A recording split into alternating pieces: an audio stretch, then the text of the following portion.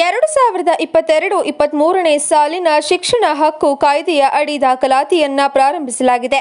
ದಿನಾಂಕ ಮೂರು ಎರಡು ಎರಡು ಸಾವಿರದ ಇಪ್ಪತ್ತೆರಡರಿಂದ ಅರ್ಜಿ ಸಲ್ಲಿಕೆ ಆರಂಭಗೊಂಡಿದ್ದು ಅರ್ಜಿ ಸಲ್ಲಿಸುವುದಕ್ಕೆ ದಿನಾಂಕ ಮೂರು ಮೂರು ಎರಡು ಸಾವಿರದ ಇಪ್ಪತ್ತೆರಡು ಕೊನೆಯ ದಿನಾಂಕವಾಗಿದೆ.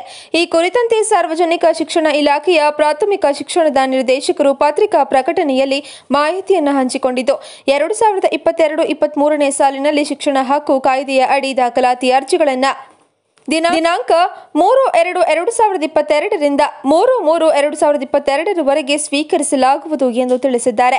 ಇನ್ನು ಉಚಿತ ಮತ್ತು ಕಡ್ಡಾಯ ಶಿಕ್ಷಣಕ್ಕಾಗಿ ಮಕ್ಕಳ ಹಕ್ಕು ಕಾಯ್ದೆ ಎರಡು ಸಾವಿರದ ಒಂಬತ್ತರ ಸೆಕ್ಷನ್ ಹನ್ನೆರಡು ಸಬ್ಸೆಕ್ಷನ್ ಒಂದು ಬಿ ಹಾಗೂ ಹನ್ನೆರಡು ಸಬ್ಸೆಕ್ಷನ್ ಒಂದು ಸಿ ಪ್ರಕಾರ ಅನುದಾನಿತ ಮತ್ತು ಅನುದಾನ ರಹಿತ ಶಾಲೆಗಳಲ್ಲಿ ಮಕ್ಕಳಿಗೆ ಪ್ರವೇಶ ಪಡೆಯಲು ಇಚ್ಛಿಸುವ ಪೋಷಕರು ತಮ್ಮ ವ್ಯಾಪ್ತಿಯ ನೆರೆಹೊರೆಯ ಶಾಲೆಗಳ ಮಾಹಿತಿಯನ್ನು ಇಲಾಖಾ website W W W dot school education dot KAR dot NIC dot in ಇದಕ್ಕೆ ಭೇಟಿ ನೀಡಿ ಖಚಿತಪಡಿಸಿಕೊಂಡು ದಾಖಲಾತಿಗೆ ಆನ್ಲೈನ್ನಲ್ಲಿ ಅರ್ಜಿ ಸಲ್ಲಿಸುವಂತೆ ತಿಳಿಸಿದ್ದಾರೆ.